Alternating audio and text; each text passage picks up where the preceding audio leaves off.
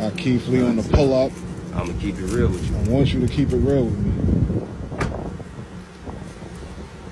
I listened to y'all. I went to Cuts and Slices.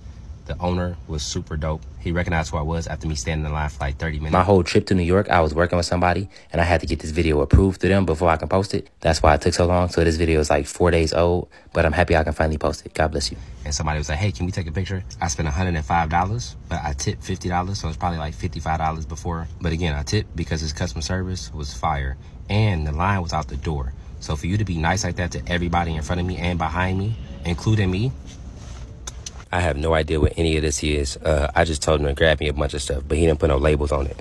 So I'm assuming this is oxtail. This is, I have no idea, like a cheeseburger. Look, that looks like ketchup. Um, more oxtail. I think that's the teriyaki oxtail. Um, bacon and ranch chicken pizza, I'm assuming. I have no idea what that is. It looks like a red onion barbecue oxtail, maybe. I literally just told him to grab whatever is good. Oxtail. Oxtail pizza is crazy. For full transparency, he gave me a slice to eat while I was there. That's like a 9.7. Oh my gosh. I swear to God. And it was delicious. That, delicious. The owner of Cuts and Slices has been updating me almost every day since he posted that video. Y'all been wildin'. All day long. Cars double park. Feel like this is 12 o'clock, beloved. Pull up. It's 12 o'clock. He said yesterday alone, 73 families or people showed up because of me.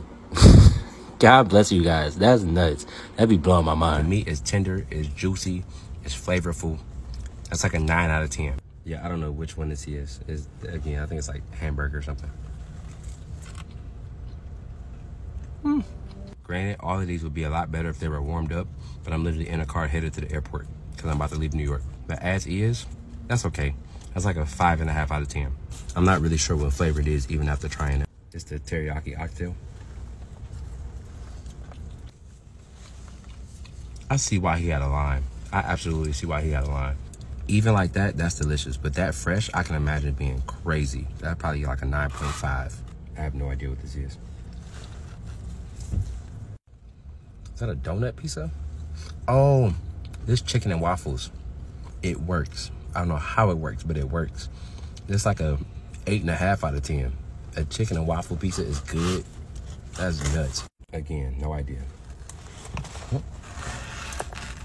I'm not a huge fan of that one. It's like real sweet and spicy at the same time.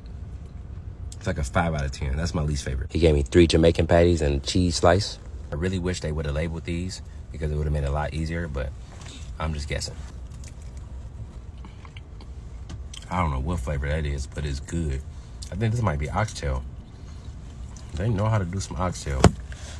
That's like a 9 out of 10. Another one. Mm-hmm. I don't know what it is, but it's good. That one's spicy. Actually, a little too spicy now that I'm chewing it. Oh, yeah, yeah, very spicy. That's like a 7 out of 10. I think these all might be the same meat. They just got different seasonings on them or different sauces. That one definitely had the least flavor out of all of them. But again, it's not terrible.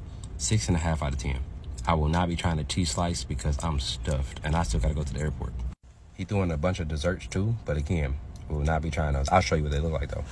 These look way too sweet for me anyway. I don't even know what this is. I really wish he labeled things. It's like some kind of brownie, like Oreo brownie maybe. And then a bunch of cookies. Again, his customer service was through the roof. And the food, I see why there's a line out the door. God bless you guys. You have an amazing